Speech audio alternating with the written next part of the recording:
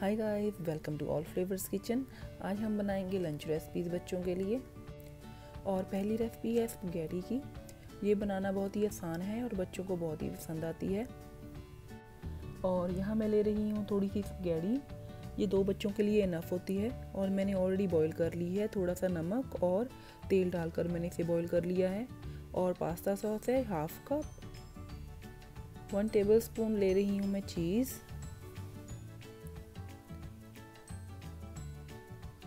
one tablespoon olive oil, one four teaspoon chilli flakes, one tablespoon parmesan cheese half teaspoon garlic powder one four teaspoon salt one tablespoon tomato ketchup half teaspoon onion powder और मैंने pan भी गर्म कर लिया है एक तरफ़। तो उसके अंदर अभी डालेंगे हम तेल।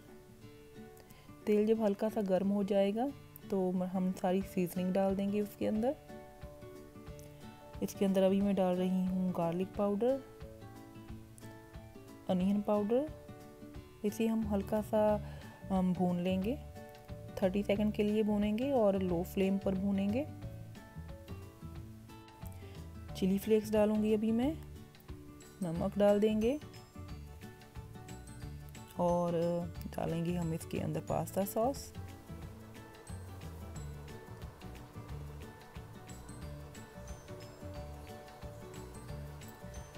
और अब मैं डालूँगी इसके अंदर टमेटो केचप अच्छी तरह से इसे मिक्स कर लीजिए। इसे ज़्यादा पकाने की ज़रूरत नहीं है। अब इसे हम एक से डेढ़ मिनट के लिए हम पकाएँगे। और अब मैं इसके अंदर डालूँगी पामाजान चीज़ ये ऑप्शनल है, अगर आपके पास नहीं है तो आप इसे स्किप कर सकते हैं। और अभी हम डालेंगे इसके अंदर हमारा पास्ता स्पगैडी इसे हम एक मिनट के लिए पकाएँगे मिक्स करने के बाद। और अभी ये बनकर रेडी है तो मैं इसे एक प्लेट में निकाल लूँगी। ये बहुत ही अच्छा बना था, आप इसे ज़रूर ट्राई कीजिएगा, बच्चों को बहुत पसंद आएगा। और बहुत ही क्विक रेसिपी है ये सुबह में बनाने के लिए। और अभी मैं इसे मोजरेला चीज़ के साथ गार्निश करूँगी।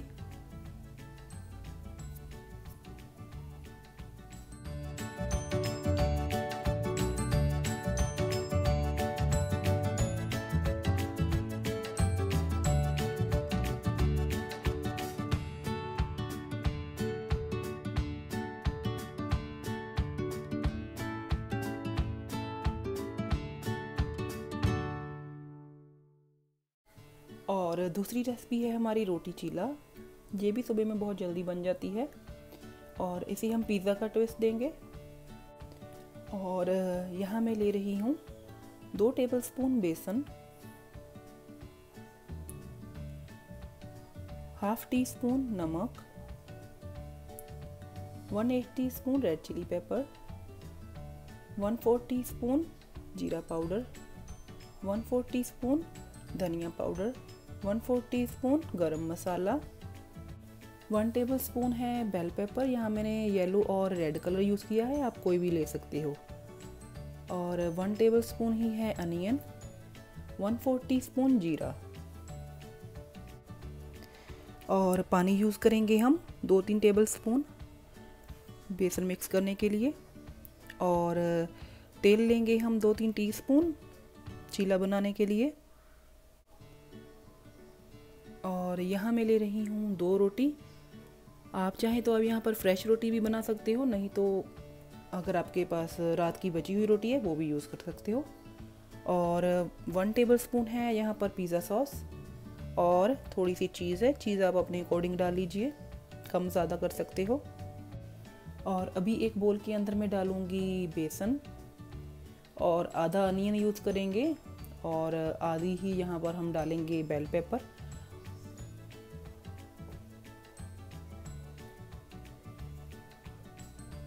और अभी जो सारे मसाले हैं, वो भी इसके अंदर डाल दूँगी मैं। जीरा पाउडर, धनिया, गरम मसाला और नमक। जीरा भी डाल दीजिए।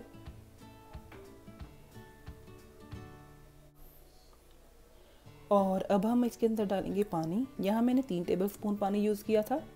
पानी बहुत ही ध्यान से डालिएगा। एकदम से सारा पानी नहीं डालना है। धीरे धीरे करके हम इसको मिक्स करेंगे। और यहाँ हमारा बैटर बन के रेडी है, आप देख सकते हैं। और अभी मैंने एक साइड पर पैन भी गर्म कर लिया है। और अभी मैं इसके ऊपर डाल रही हूँ एक टीस्पून तेल। और हमारा तैयार किया हुआ बैटर अब हम इसके ऊपर रोटी लगा देंगे एक।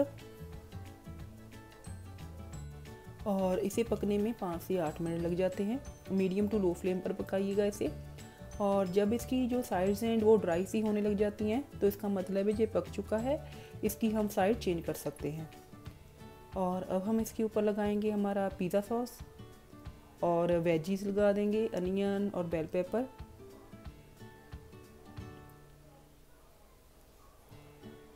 और चीज़ लगाएँगे ऊपर। आप चाहें तो आप इसे ऐसे ही ढक कर पका सकते हो, लेकिन मैं इसके ऊपर एक और रोटी लगा दूँगी, जिससे कि ये एक सैंडविच की तरह बन जाता है। थोड़ा सा तेल लगा लीजिए इसे, और इसे हम क्रिस्पी होने तक पकाएँगे। और एक स्पैचुला की हेल्प से आप इसको प्रेस भी कर सकते हो। आप देख सकते हैं इसका कलर कितना अच्छा आया है। देखने में ही पता चल रहा है कि ये बहुत क्रिस्पी बना है।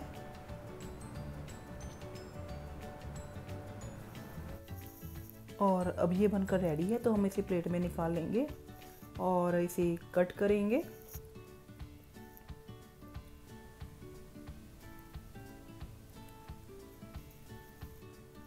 और आप देख सकते हैं कितनी आसानी से ये कट हो गया है। फ्रेंड्स अगर आपको मेरी रेसिपीज़ अच्छी लगी हो तो प्लीज़ मेरी वीडियोस को लाइक कीजिएगा और मेरे चैनल को सब्सक्राइब कीजिएगा। मैं मिलूँगी आपको किसी और रेसिपी के साथ। तब तक के लिए bye bye thank you so much see you next time